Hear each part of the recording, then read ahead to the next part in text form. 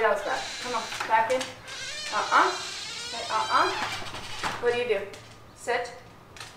No jump. Thank you. Come on.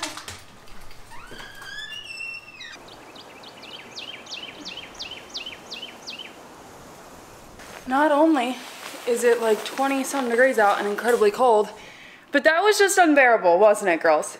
You two were on a whole nother level. We didn't even like, I have two routes that I like to take. We couldn't even go one full of either because I had to keep turning around and turning around and turning around and turning around because they were just like, and I wanted to try something new this morning and I regret it. I regret it. We'll talk about it in a second. Let me feed these dogs. I have done a lot of training with Poppy. For a while there, it was like every single meal she would do training. And she's so good with her basic things sit, shake, kisses, um, even wait. That's her stay. She's so good with that. And she's great off leash. Like we've done a lot of training just in the backyard doing stuff like that. She's so good off leash. And if we're walking in the house, she knows exactly how to walk. She knows exactly where she's supposed to be.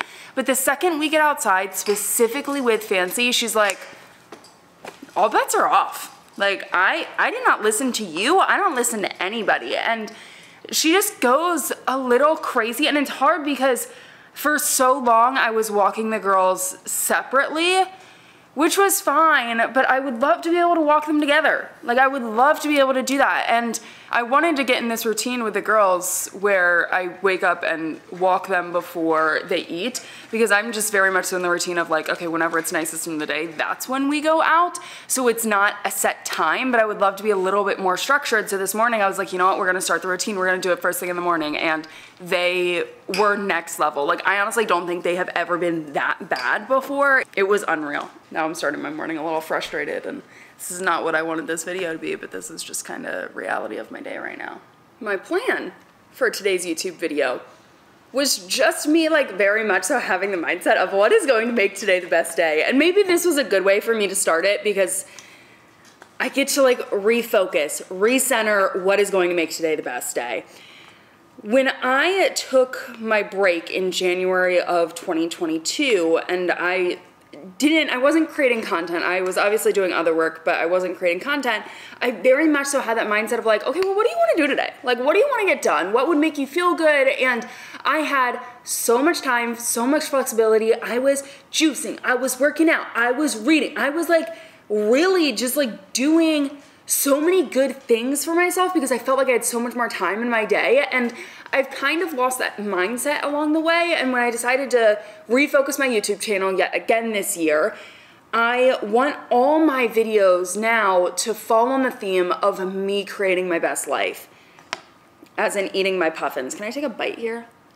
So today, I feel like it would be a really good challenge for me to just very much so have the mindset of like what is going to make today the best day possible, as well as just like a very well-rounded day for me. Like I want to accomplish work stuff. I want to accomplish personal stuff. And I just also want to live my life and like make sure that I'm really enjoying it. Like, how can I create the best structure for myself? And like, one of my goals this year is to be more intentional with my time. And am I really being more intentional with my time? And I just, I don't know, I kind of want to like evaluate what I'm doing today and like really, really think through the day. And I wanted to bring you guys along. So here you are.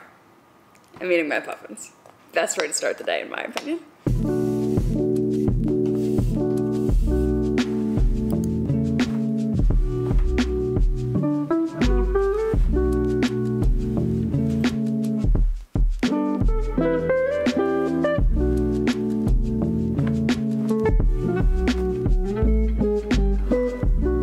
Next thing I want to do is not a part of my normal daily routine, but maybe it can be like a weekly thing that I do. Like it's a Saturday morning. I feel like I could do this every Saturday morning. It just depends how I'm feeling. Um, I'm gonna go to a coffee shop and I'm gonna read my freaking book. About two weeks ago, I was working in a coffee shop and there was this girl there and she sat there for probably two hours just reading and I was like, wow, that must be so nice. And it's like, Cathrin, you work for yourself, you could do this too. So I'm gonna do it. I'm gonna go to the coffee shop, I'm gonna have a matcha, and I'm gonna read my freaking book. In case you're curious, this is what I'm reading right now. This is actually part of the podcast. We are doing a quarterly book club. I like did not know what I was trying to say there. So this is this quarter's book. If you guys want to read it with us, and then we'll do like a full review slash talk through it in one of the episodes, the very first episode, happening in April. Let me grab my bag. And we're off. You girlies be good. I'm sure you're just gonna sleep, huh? I love you girls. I do, I swear I do.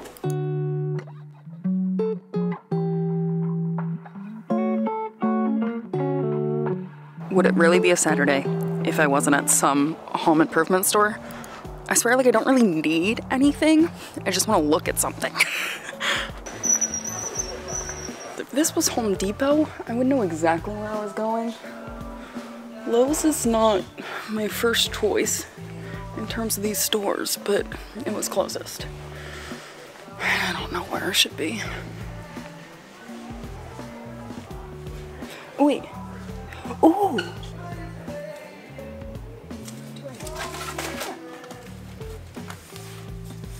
So what I'm looking for is peel and stick floor tiles for the bathroom that's like in the hallway that well the main bathroom that I've been using right now the floor I keep telling my dad that I want to replace and he keeps saying Cathrin I'm not gonna help you replace it you gotta pay someone to take it out and it's gonna be a pain in the butt to take out and then it hit me in my past two homes I've used peel and stick tile to cover up really ugly tile and it looks so real why the F am I not doing that so do we like oh my, god, this is so heavy. Just a dark gray? I wasn't planning on buying anything today, but now that I see something like this, this might be it. I don't know how much I need. That's kind of the problem. Also just talking to myself here and a guy walked by and totally saw. What I think I do is go home, measure it out, come back, and buy this. Because I don't want to buy a whole box, like 45 p. I don't, I don't think it's 45 square feet. I know it's not 45 square feet. Yeah, okay, let's do that. Sweet. What we're all gonna do, wow, that's very low, is ignore how dirty this floor is. But we need to measure this baby out. Okay. This is a little bit less than three feet. So let me just like measure this one box over room and then we'll move the other. And this is a little bit less than five feet. So to calculate square footage, don't you multiply? So let's just do four times five, so 20. Is that how you do this? This looks a little bit weird because the toilet and stuff. So this is five feet and then three. Poppy's coming in. Hi little legs. Hi sweetness. How are you? Huh? How you doing? How to calculate square feet. So if a bedroom is 12 by 20 feet, it's 12 so the bed. Okay, so I did it right. Okay, that's what I thought. I was like, I, I'm pretty darn sure. I should have some buffer. Was one of those boxes 45, right? Let's go back to Lowe's.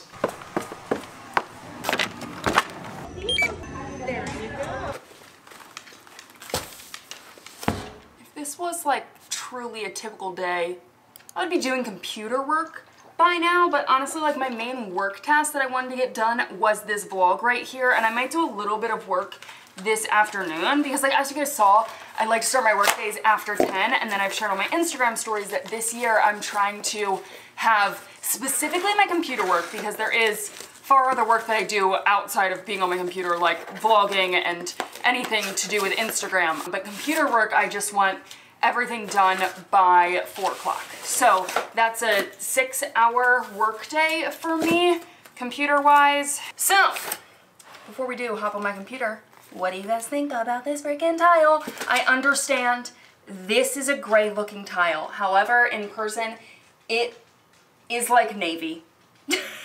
it very much so has blue tones to it and it does not go with my black vanity. My thought is to do it kind of diamond like instead of square like instead of flat on like this when you enter, I'm thinking diamond just to like draw your eye in a little bit more. We'll see. Now that I see this tile on top of this tile, honestly, they kind of look a little bit similar. This seems to pull more warm tones on camera, but just like no, it does have a blue hint to it and it's it does not work with the black here, where this, that works. That looks great. So I do think I'm gonna move forward with the diamond pattern. I think this is cool. Plus, it will be incredibly easy for me to do because the floor tile already has these perfectly straight lines. So I'm just gonna go off one of those straight lines, match it up with that. Actually, you know, it would be easier if I just did them square because then I could align it. Hmm. But I think this is gonna be cooler totally think it's gonna be cooler. So one of the things to note with peel and stick tile, if you guys have never used this before, is that there's just a few repeating patterns within a box. So this, this, that, all the exact same. This one, this one the same, this one, this one the same this, like all three of these actually are the exact same. So you need to kind of plan out the floor and what tile is going to come next, as well as make sure the positioning is different. So like this positioning and this positioning are the exact same compared to this and this is different. You want it to seem, at least like that's the way I like it. I don't want it to be totally uniform. Like I think that would look ridiculous. I'm excited for this. This is an incredibly cheap solution to this floor and it kind of inspires me to actually finish this bathroom because like this door right here, I just never painted and this door is still missing. I might do this this week. I feel like that would be nice and I can easily turn it into a reel or something. I'm really trying to figure out the separation between my real content and my YouTube content and I feel like this project would make for a really great reel and then I can post it on my YouTube as well so you guys like get the house updates but I am kind of not feeling like doing this right now because for one, I need to vacuum and then scrub this floor to make sure it's totally clean. Two, I need to take off the baseboards. So these baseboards, for one, dirty, but you can see that they're pretty thick. So these are not the original baseboards that came with the house. The previous owners must have put this tile in I'm guessing there was carpet in here before. Like, I feel like just because the other bathroom had carpet, feel like this one did. And when they put in this tile, they put in nicer, thicker baseboards, which love. But what they didn't do is actually nail this into the wall here. So the one that's actually behind this door, you can totally just take off. Like there's no adhesive, there's nothing. The only one that I think might be adhered with like liquid nails or something is that one right there. It's the only one that actually looks, well, you know what, now that I look at it, this one looks pretty good too. And this one actually has caulking, like nowhere else did they do caulking or anything to finish these out. So I'm gonna take off the ones that I can and then have the floor tile go underneath so it looks the best. And then I'm gonna put these back on and actually nail them in and do the caulking and everything else to like make them perfect. But that just seems like far too much of a project right now. And the more I think about it, I really should do some computer work today. So let me get some work done.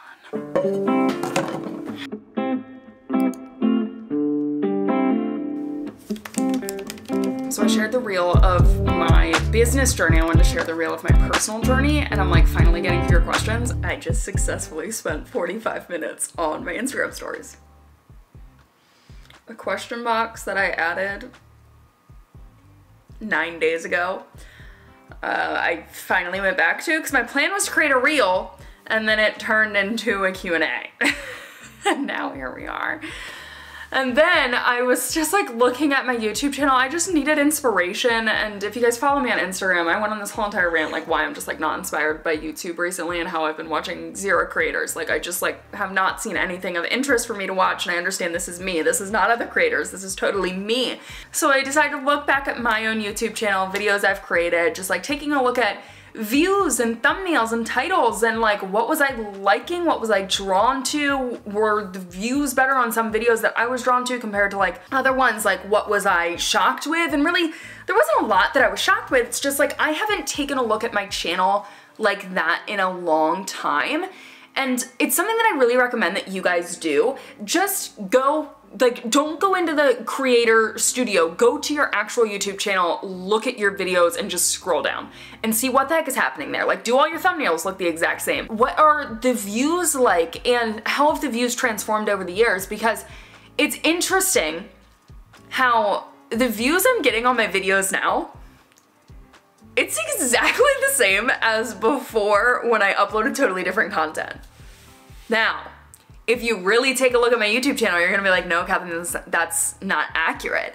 But when I upload a YouTube video, on average, even before I changed my content, it was between 10 and 15,000 views from my own audience when it initially went live.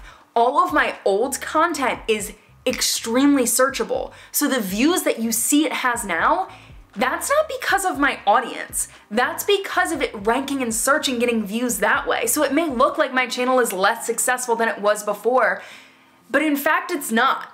It's literally the exact same level of successful, but in my mind, it's more successful because I'm happier and I'm landing bigger brand deals and stuff. Like to me, the freaking like win on win on win on win on win. But the reason why I'm bringing this up kind of goes back to my mindset of think less and post more. Because sometimes when you go to your YouTube channel and you sort by most popular and you're like, these are the videos that my audience wants, that's not necessarily accurate. Those may just be videos that rank really well in search and yeah, they're getting you a lot of views and like they're potentially making you a lot of money. Like my one video that has 3 million views I think has made me over $30,000 at this point. But at the end of the day, like is that what your audience really, really wants? And there's one creator that I follow that she'll randomly go on her Instagram stories and is like, I'm gonna create another one of these videos because it's your guys' favorite. And it's hilarious because whenever she posts this type of video, the views are like one third of what her normal videos do. Now, those videos rank really well in search. And yeah, they're some of her top performing videos because they rank well in search and she will ultimately end up getting a lot of views because of it. But I just think it's fascinating how your mindset and like the, the way you look at things is like so incredibly important. I do think it is important, especially if you're trying to grow on YouTube, have searchable content. And if you can have a mix of searchable content and content that's just for your audience, great. If you can find a way that crosses both of them though, poof, game over for your YouTube channel. And that's kind of what I'm trying to figure out how can I do that within my own channel? Like, how can I create content that you guys are interested in, but that is also really, really searchable and that can help me to grow because for a while there I like totally stopped trying to grow at all. I stopped using tags. I wasn't like thinking about the algorithm like at all. Like I was doing no keyword research. I just like did not give an F. I was like stop growing, stop growing, please stop growing. Like I just I could not go through that phase anymore. It beat me down and I was like please stop. And now I'm at the point where it's like okay, I like the content that I'm creating and I want to draw in the right audience. Like the problem was I was drawing in the wrong audience and like it was the right audience for my content, but for me personally as a human being, I did draw on a lot of people that just like did not give an F about me and were ruthless and I can't stand it. I'm a sensey girl, okay? That's not for me, that's not my life. On my list of things that I wanted to do yesterday was brainstorm content. So I figured today after talking about Instagram stories, I was like, let's be a little bit productive. Let's actually like look at my channel. Let's try to brainstorm content. Did it help me to brainstorm content? No. I don't know, I think I just need to stop overthinking it. I really do think I need to stop overthinking it. And I'm kind of just wasting time here by overthinking it. So it's like, Cathrin, is this helping you to create the best day possible? Kind of, yes. I feel like I've actually had a really great day and it's 2.51. Like, I've gotten a decent bit done so far. And I don't really know, like, what else do I really, really want to get done today. I did do some other stuff before I wasted time on my Instagram stories. Okay, I did get some other stuff done. It's just like, what do I want to do now? I uh, put up my hair in a very ridiculous way, and yeah, I ended up sitting in my office doing more work.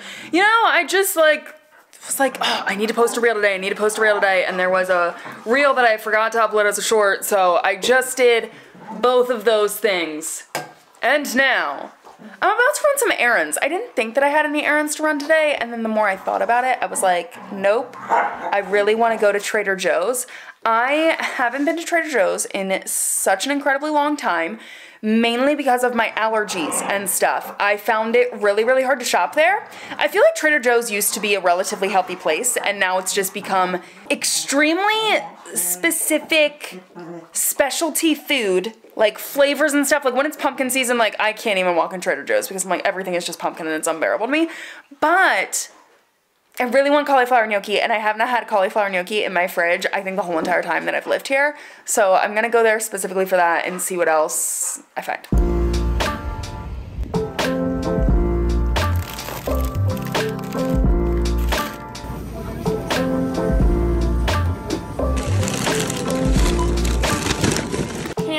Confirm, I am totally abandoning my morning you know what with the girls it's now like almost 60 degrees outside and this is when I would prefer to take them. So I think I just like, in my mind, I was like, well, if I start and I do it every single morning, then I'm like perfectly aligned for summer because in the summer, like I can't take of them in the middle of the day or the afternoon. Like it has to be evening or morning because it's, it's too hot.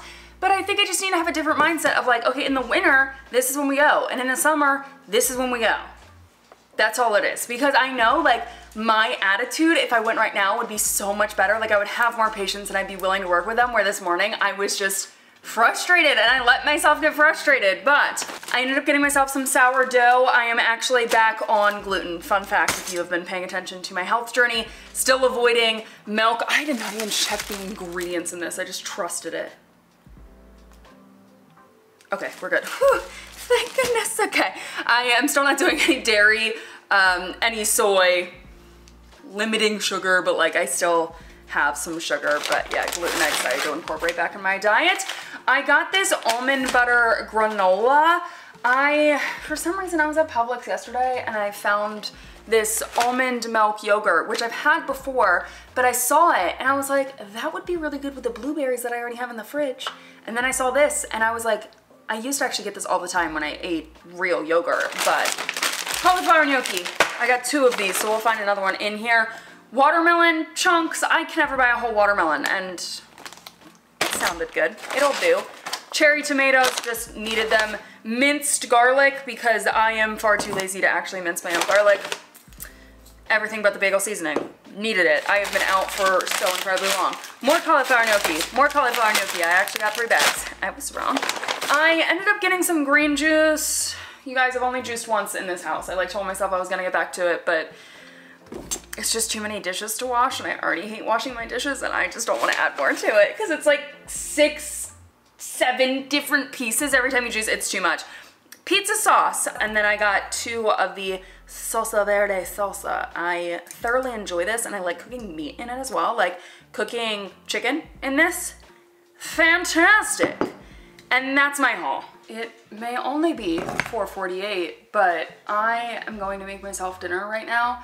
I've come to realize that one of the reasons why I just despise making dinner is the fact that it's dark out and it makes me feel like I should be in my chill zone, not in a I'm actually doing something zone. Like I don't mind making lunch. I'm more likely to make lunch than I am dinner, which I feel like is opposite for a lot of people. Like I'd rather just eat leftovers or something for dinner.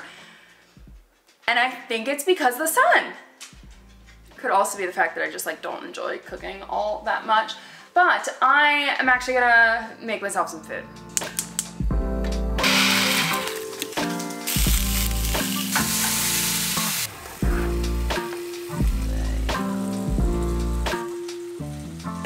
This is just a classic childhood meal to me my mom, I feel like this was just like her lazy dinner. But it's just mac and cheese and sausage. And my sister still makes this, but she'll make homemade mac and cheese, which like superior. But growing up, we just used to have Kraft mac and cheese. And I'm telling you, I understand it's disgusting, the powdered, like, whatever. I loved it. That was one of my favorite things in college when the cafeteria was closed. I needed to make something myself. I would go down to the kitchen, I would make myself mac and cheese, and it was my absolute favorite. And obviously, I haven't had it in a while. For one, like, it just contains like a whole bunch of bad things. But for two, dairy free. This is an amazing, amazing dupe for Kraft mac and cheese, though. I also do understand that there's no vegetable on my plate, and there probably should be, but you know, it's fine. Why have I never made this before? The girls are now eating, and it's about time for us to chill out. I feel like this is when I usually kind of shut off for the night, or I try to. It's like dinner time for them is my cutoff of like, okay, you need to chill out for the night and just enjoy some downtime. So I have been on a Disney movie kick recently, watching Disney movies that I haven't seen in a while. So like the other night I watched Ratatouille. I had not seen it in years. And I honestly kind of forgot like the exact ending of it. And then last night I watched The Little Mermaid, but like the old Little Mermaid, like I think the one that came out in the 80s or something. I could not even tell you the plot of that movie before yesterday. Like, had no idea what the heck happened at all. And I was totally shocked by the fact that like she gave up her voice. I was like, you gave up your voice. Like I did not remember anything. So I'm debating what Disney movie I want to watch tonight. Like, is there another one that I haven't seen ever or seen in a while that I should watch? We'll decide. I've also been debating for like a few days if I wanted to start a new puzzle and I just haven't done it. So I think maybe I'll start a puzzle today. I have truly had the best day. Like having this mindset of like what's going to make today awesome. I have had just fancy. That's not yours. Fancy. I have just had the best day. And I'm I'm like so happy right now. I feel like I'm ending it on a high. Fancy. Fancy. Come here. Come here. You can't be eating your sister's food. Come here. Poppy's currently like knocking around her ball and knocking out food and she sometimes misses pieces and then this little tail right here will wander around stealing whatever pieces she can find, which is just not good because she already ate yours. Anyway, I'm gonna call it quits on this vlog. Bye.